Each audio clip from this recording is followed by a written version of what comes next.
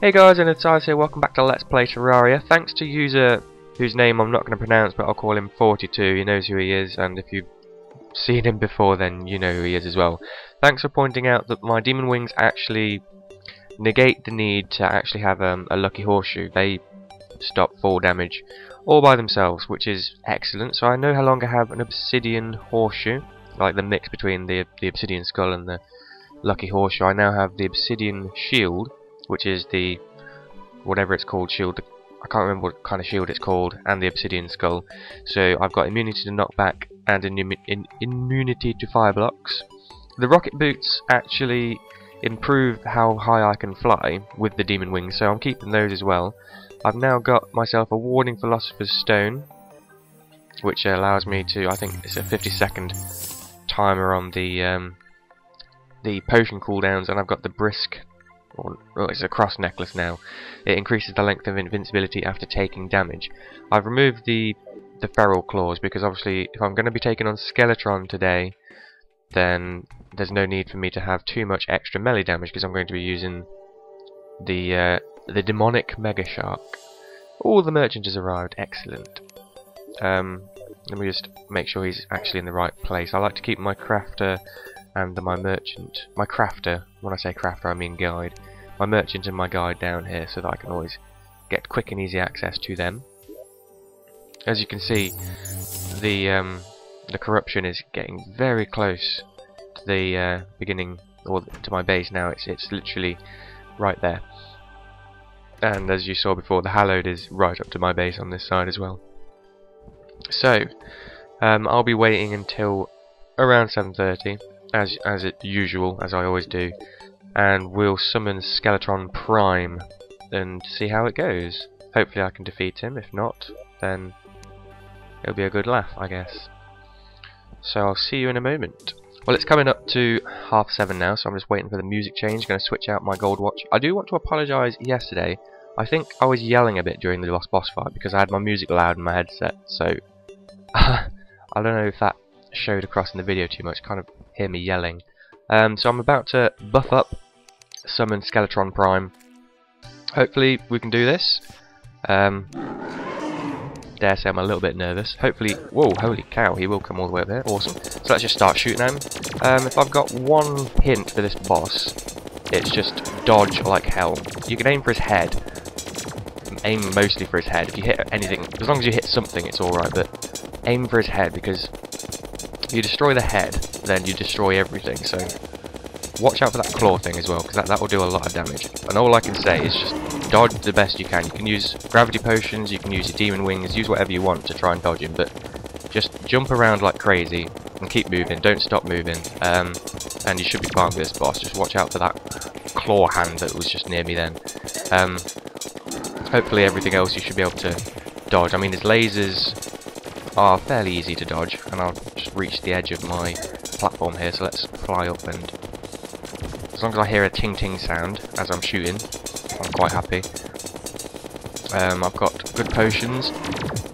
Another thing is, I don't think I mentioned this in the previous video, but if you make your platform, if you're making a platform to fight bosses on, if you make it out of wooden platforms, it's quite a good idea because um, if you build it out of blocks, then if you're using me um, melee, if you use range, then your bullets will bounce off the blocks. If you use platforms, then your bullets will go right through, which allows you to fight enemies even if they're below the the platform you've built.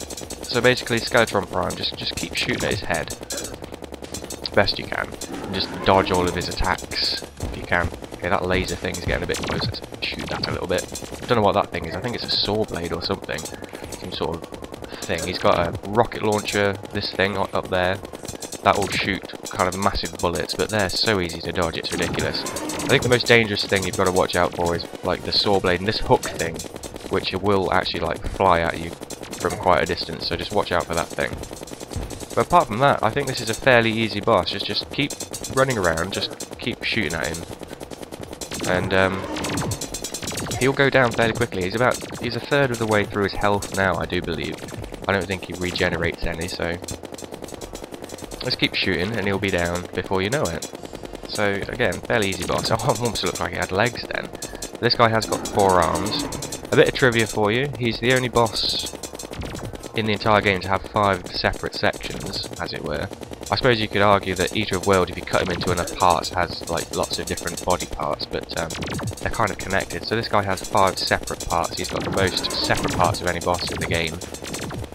So four arms and a head. That's what I'm talking about. I think that is a saw blade he's attacking me with there. We'll just keep shooting at him. Shouldn't take too long. And then he should drop Soul of Fright with any luck. And we'll go pick that up and we'll go craft some cool stuff with it.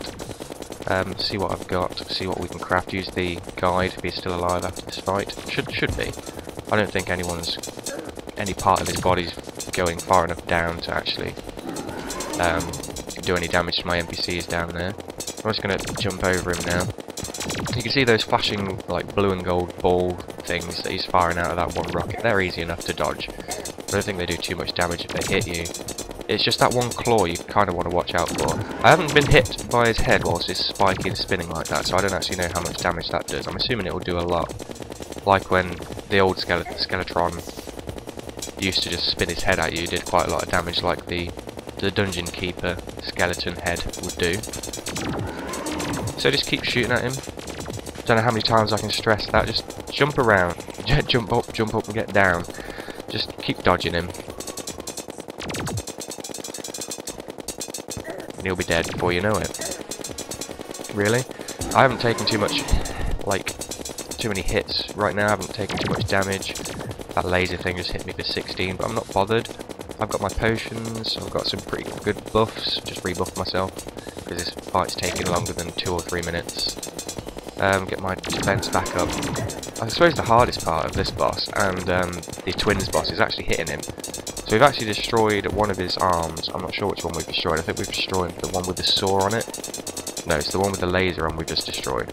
So no more lasers from you, Mr. Skeletron Prime. But He's down to 8,000 health now, so not much longer for this boss fight. And really, there's not a lot to say. Just just keep dodging and just keep shooting. As long as you hit some part of him, I mean, you'll eventually. I mean, I've been. My goal was to destroy his head first. I've already destroyed one of his arms, so if that happens, it happens. All it's going to do is make the boss fight easier. There's less stuff to dodge. And to be perfectly honest, his attacks are just so easy to dodge. I mean, if you see something coming at you, just move out the way of it. This arm is getting a bit close now, so just make sure you keep running, keep moving. Once an attack stops, like one of his arms stops flailing at you, then you can just head back in the opposite direction. You can run around, do what you want. So he's not got long to go now. See if we can destroy this hand that's coming at me here. There we go.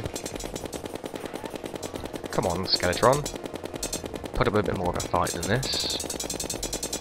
And, um, I suppose just after this fight I'll show you something. Ambush Frenzy requested. I'll quickly show that off, and then we'll get back to crafting, I suppose. Come on, Skeletron. This is ridiculously easy. I don't know if there's going to be, you know, if there's be another update with more harder bosses. Hopefully new bosses instead of just old bosses but harder, but maybe they'll be a little bit more tricky than this. So we've destroyed two of his arms now, so it's, it's back to like an ordinary Skeletron looking kind of situation. He's got to shoot in the right direction, make sure you keep hitting him, and he's nearly dead, so a couple more hits. Okay, that's a 60 hit off of his head, so you do want to dodge that if you can. And there we go, Skeletron Prime has been defeated. So there we go.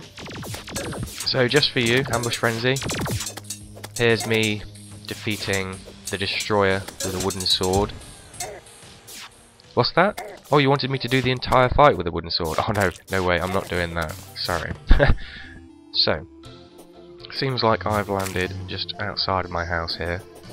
So we'll um, pick up the last of our things here.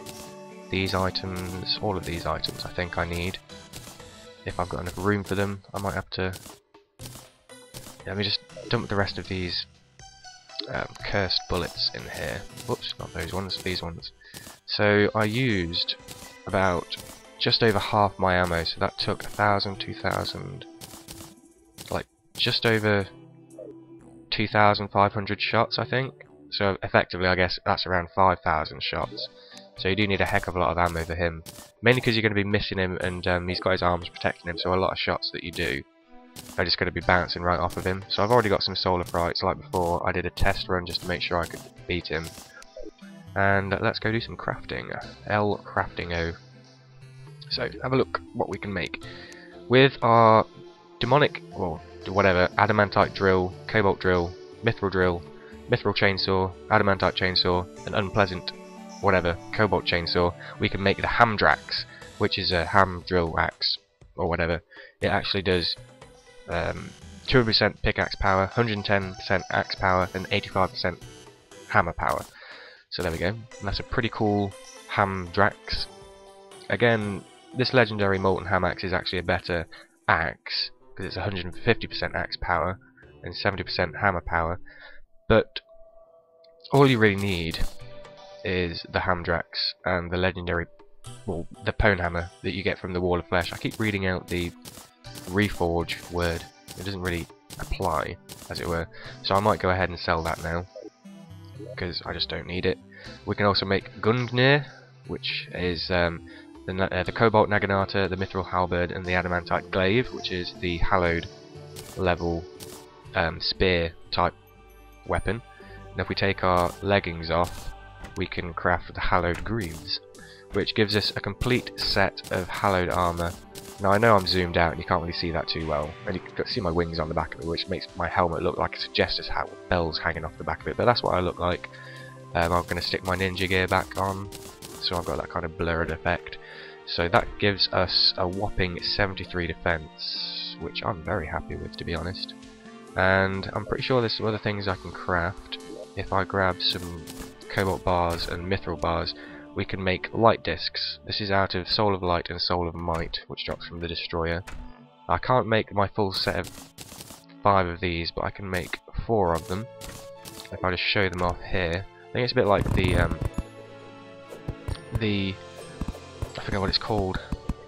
It's like the boomerang or the thing you get from the jungle thing. The, the, I forget what it's called, but it's it's that's what it is effectively like. Except you can fire four of them at once, and I'm assuming that they will just return to you, and they they bounce off of stuff. So if I shoot it along this corridor, you see they bounce along like crazy.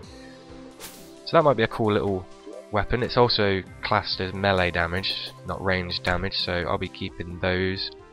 Obviously I still want my godly Dao of Pow out somewhere, so if I just shuffle all those things along there. And just show you off the Gungnir. It's massive, this thing, it's absolutely huge, it's ridiculous. Well, that's what that is, so I don't know if I'll be using that, but I've got it anyway. Maybe I'll just show off the Hamdrill axe. So here we are, cut down a tree with it, um, you can dig with it, and I've got an empty chest I can knock out, and you can hammer with it, which is kind of like everything in one, it's like a aw awesome ultimate multi-tool. Now I'm not sure if there's anything else left to craft, I could sell all this rubbish I've got now, make those into platforms so I can kind of fix things as I'm running around, give myself little platforms to stand on. Um, I don't know what else there is to show off now. I want my Tinkerer down there, I want my Tinkerer up in one of these rooms with everyone else. So, effectively I guess, this is the end of Terraria. I've got my end of game gear, I'm really happy with all of this stuff, all of this stuff is um, warding, I think the only thing I need to do is, I don't know if I can reforge these things, or my Hamdrax. I don't know where my Goblin Tinkerer actually is. It did say he just arrived and he went down there, so he might be, there he is. For some reason they like to spawn in this little area here. So I'm just going to see if I can reforge the light discs. I doubt I can, because they're like stackable items. Reforge my Hamdrax to something, I guess it's got knockback, so I should be able to put it up to either godly, I think, or um, uh, demonic, I think. And Gungnir, I'll reforge that ridiculously high as well. So apart from that, I think that's Terraria. Until the next update, where there's things to show off. Actually, that's a good point. I suppose I'll do one more video. We'll have a run around a small world, like a newly generated world, just to show off some of the new features that I've I've been missing out on playing on this on this map. And I guess that will be the end of my Terraria LP. Until updates, if there's an update, I'll do my best to try and show all the updates. I've got 108 Soul of so I went pretty mental fighting the Destroyer. I had to destroy it three times to get that little bit of footage um, for Ambush Frenzy, but it was fun to do, I guess. And until next time, I'll see you soon. Thanks for watching. Take care.